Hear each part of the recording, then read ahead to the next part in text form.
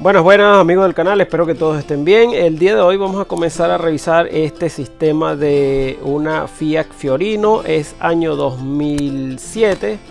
Eh, este, esta computadora me la trajeron ya un poco manoseada, ya lo habían revisado en otros talleres, pero eh, dicen, siguen diciendo que la computadora tiene problemas. Entonces es por esto que yo le solicité la computadora de motor y la bobina este sistema para poder probarlo en banco necesito tener la bobina para poder generar las cargas, ¿verdad?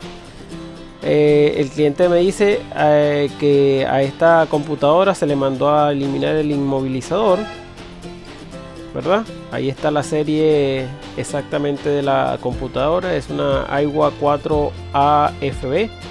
Entonces, este es una Fiat Fiorino 1.3 de 8 válvulas aquí tenemos lo que es la placa de la computadora. Entonces como ya les estaba comentando el cliente me dice que le hicieron el IMO off. Y pues aquí podemos apreciar un poco en la memoria PROM que realmente ya ha sido manoseada verdad en esta zona que tenemos aquí. Entonces bueno vamos a comenzar a revisar esta computadora. Qué es lo que está pasando en este vehículo que el vehículo enciende perdón trata de como de encender y a la final como que se quedara con fallas de, de, pulsos de bobina ok entonces es por esto que las personas que lo estuvieron revisando en otros talleres le dijeron que el problema es la computadora que no está sacando los pulsos. Revisaron los inyectores revisaron bobinas y todo esto y este el vehículo no enciende Ahora, cuando me llaman por este tipo de casos, ¿verdad? Yo siempre les pregunto al cliente que a raíz de qué fue que se generó esta falla. Y esta persona me dice que hace un tiempo atrás les estuvieron revisando, reparando el motor del vehículo de, esta Fiat Fiorino, repararon el motor. Supuestamente el vehículo encendió y anduvo como una semana y después comenzaron las fallas. ¿ok? Entonces, estos son como algunas cosas que uno debe preguntar siempre para este, saber más o menos a qué puede asociarse el problema. Entonces, bueno, vamos a, yo lo que voy a hacer, como esta computadora, como les dije anterior, le, este, le eliminaron el inmovilizador, no voy a necesitar ni siquiera la llave ni el módulo de inmovilizador, solamente voy a necesitar la bobina para poder generar las cargas y de esta manera si la computadora funciona me va a habilitar lo que es la salida de este, inyectores, ¿ok? Entonces vamos a buscar en el software de, Full Pro para ver cómo es que vamos a conectar esta computadora y seguimos. Ok, aquí estamos entonces en el software de este, el Full Pro, ¿verdad? Y entonces tenemos por acá la Fiat Fiorino 1.3 de 8 válvulas y la Magneti Marelli Aiwa 4 eh, AFB. Entonces, más el cajetín, como les dije anteriormente, no tiene inmovilizador, por lo tanto no vamos a necesitar el cajetín de inmovilizador, solamente tenemos la computadora y vamos a seleccionar este sistema. Eh, al seleccionar este sistema podemos ingresar aquí a lo que es el pin out y pues aquí nos va a indicar exactamente cuál es el 1, 2, 3 y así sucesivamente, ¿verdad? Para poder realizar las conexiones eh, también tenemos por acá lo que es el pin a pin, que es lo que, nos lo que más vamos a necesitar para poder banquear esta computadora. Y pues aquí tenemos las señales, los positivos, negativos, la ignición. No vamos a necesitar activación de relé principal. Lo que sí vamos a necesitar es relé de bomba, inyectores, bobinas y las señales de CKP. ¿Ok? CKP y por acá tenemos otro tipo de sensores que vamos a también a conectar lo más que podamos para también chequearlo con el escáner ok vamos a hacer el monitoreo con escáner de estos sensores para saber exactamente si este, la computadora está reaccionando como tiene que ser, si, si la computadora da encendido, si no, si activa pulsos de bobina, pulsos de inyectores. Entonces ya que tenemos este diagrama eléctrico es lo único que vamos a necesitar porque por acá tenemos lo que es la conexión entre módulos, pero como no tenemos inmovilizador no vamos a necesitar esto. Vamos a regresarnos entonces a este, bueno, de la parte del Inmobox para poder este, escanear la computadora, si vamos a necesitar el Inmobox para conectarla a lo que es la línea W y la línea K, ¿verdad? El CAN High y CAN Low y la luz de check. Esta cosa vamos a tratar de conectar todos estos cablecitos para poder escanear. Esta zona es para poder escanear solamente y este, de esta manera poder hacer un diagnóstico ya un poco más, más certero del funcionamiento de esta computadora. Así que comenzamos.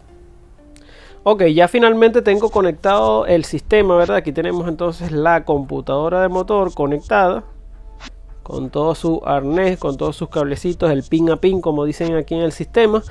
Eh, por acá tenemos también la bobina conectada, ¿verdad? Necesitamos las dos señales que vienen directamente desde la unidad, ¿verdad? Aquí van esos cablecitos, van conectados a esta parte que viene estando por acá y se vienen hasta la bobina. El otro cablecito es el positivo que va directamente a la fuente de alimentación. Y pues aquí tenemos el escáner conectado también con los parámetros principales, ¿ok? Entonces, ¿qué es lo que vamos a hacer? Vamos a darle arranque al sistema para que ustedes puedan apreciar cómo es que funciona, ¿ok? Aquí yo voy a darle RPMs. Ok, allí está en RPMs y como pueden ver los inyectores están funcionando allá. Por acá tenemos la bobina en funcionamiento que se escucha claramente. Vamos a acercar el micrófono para que ustedes puedan escucharlo. Allí está. Está trabajando entonces la bobina. Eh, tenemos la computadora allí conectada, los parámetros en el escáner. Allí tenemos que está marcando un alrededor de 1500 RPM.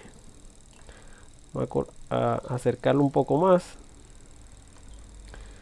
Allí está, 1500 RPM. Vamos a bajarlo un poco para ver. Ok, allí se apaga. Vamos a subirlo. ok allí comienza a trabajar nuevamente el sistema una vez que le damos encendido este vamos a ver cómo aquí en las rpm y aquí podemos controlar también lo que es el, el sistema de los sensores para que ustedes vean que sí están conectados vamos a aumentar lo que es la apertura del TPS vamos a colocarlo en gráficos. Allí está en gráficos. Y vamos a aumentar el TPS fíjense que en la posición del TPS hay una variación verdad vamos a, a disminuir el MAC y van a apreciar la disminución de los inyectores en ese momento. Vamos a dejarlo donde estaba y vemos que vuelven a regresar. Temperatura de motor vamos a aumentarla. Y aquí vamos a ver la temperatura del motor que sube verdad en el escáner. Vamos a dejarla a la, mitad donde estaba. Ahora voy a subir la temperatura de aire. Y ven que la temperatura de aire sube también. Entonces quiere decir que todos los sensores y la computadora está reaccionando como tiene que ser ok aquí tenemos el relé de bomba activo la presencia del check engine porque tenemos unos códigos de fallo. Allí están los códigos de fallo verdad rueda fónica knock sensor y temperatura. Estos son porque la computadora no está conectada ok no tenemos relé del, del, ventilador este instalado. Entonces pero aquí está todas las señales tenemos los 5 voltios de, de referencia el consumo está en 0.10 amperios que es un, un, consumo aceptable aquí no tenemos las salidas de bobina ¿por qué? porque las salidas de bobina están directamente a la propia bobina ok y por eso es que se está generando esa, esa señal. Entonces, señores, esto, esto era lo que les quería mostrar acerca de este sistema, ¿verdad? Que estamos banqueando aquí.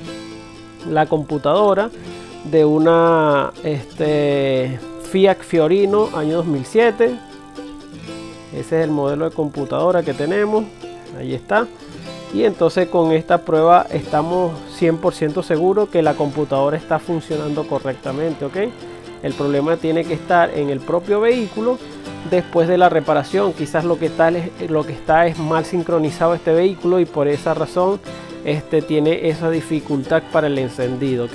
Pero con estas pruebas y todo lo que yo estoy haciendo ya el cliente tiene que saber que el problema no es la computadora.